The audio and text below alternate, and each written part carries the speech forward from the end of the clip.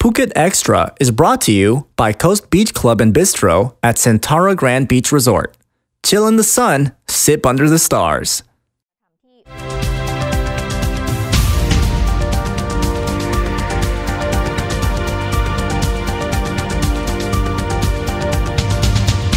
Sawadee Krap, and welcome to Phuket Extra, brought to you by Coast Beach Club and Bistro at Centara Grand Beach Resort Phuket. I'm JP Mastanza, and could we have an increase on the VAT tax? Well, let's start off with this first.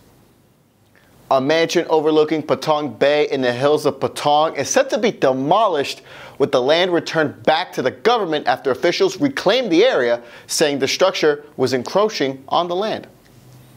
About 20 law enforcement officers arrived at the mansion yesterday, checking the area and posting a sign that said the 69 Rai plot is now SorPorKor government owned land to be handed over to poor farmers for their use.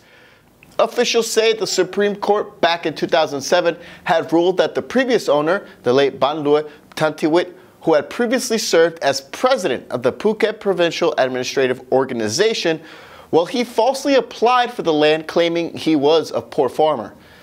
Now, the caretakers have been given 30 days to remove all the structures on the land. And could the VAT value added tax rise to 8%? That's the idea that Prime Minister Prayut Chan-o-cha is floating around, saying it would bring in about 100 billion baht to Thailand. Currently, the VAT is at 7%, and Finance Minister Apisak Tantivorawong had stated that number would remain the same. But during a gathering at a school in Prachinburi, the PM said a 1% increase on the VAT would also increase the government budget and, quote, it can then be used to fund what members of the public are calling for. Though officials insist the country is not broke, the suggestion to raise the VAT is partly due because, as the PM says, high government expenses are looming in the future with upgraded transportation and infrastructure projects in the works. And calls are being made for authorities to expedite their investigation into the murder of a student at his dormitory last month. It all stems from an incident on February 15th in which a group of about 18 young people were allegedly involved in an attack at the dorm in Silpakorn University in Phetchaburi, which left 24-year-old student dead after he was beaten and stabbed in the head with a screwdriver. Two others were also hurt in the attack.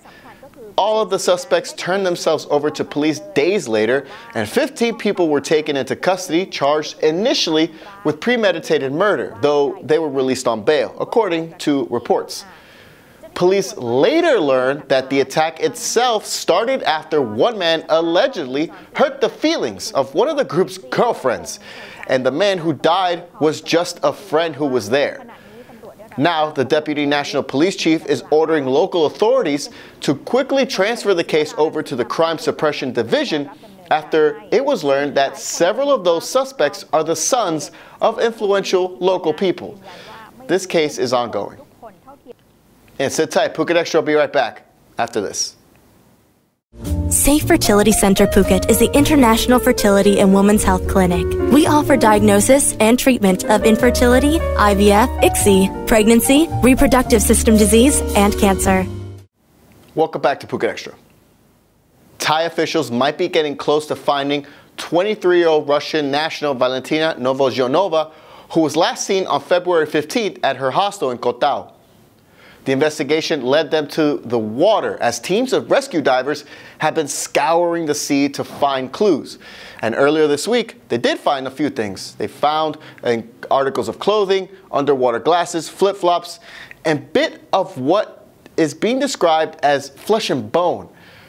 Police say they're having the evidence tested, though other reports indicate that the body parts might be too degraded for testing since it's been in the sea for far too long. Now, authorities are turning their attention towards a diving buddy, a man who is due back to Koh Tao next week. Meanwhile, family and friends are waiting on pins and needles to hear word of what exactly happened. And enjoy Uber and Grab while you can, as officials nationwide are cracking down on the online taxi hailing apps, claiming it's all for safety reasons. The crackdown began last week in Chiang Mai as law enforcement and local officials would hail a taxi using one of the apps. and then they would arrest a driver once they arrived. 23 drivers have so far been arrested in the operation. Thai law states that taxi drivers must have a public transport driving license in addition to having their car registered as a taxi. It's all part of the Vehicle Act meant to ensure drivers and their cars are up to snuff. Meanwhile, Uber is asking Thais to sign a petition on its website urging the government to provide amendments to the law in a bid to include taxi hailing apps. So far, 15,000 signatures have been collected, and they're aiming for 20,000. And that's it for Phuket Extra today. Catch us on Phuket Extra Extra tomorrow, where we'll catch you up with five top stories of the week. And then catch us again on Monday, where we'll catch you up with all the news you missed over the weekend on Phuket Extra. Until then, stay classy, Phuket.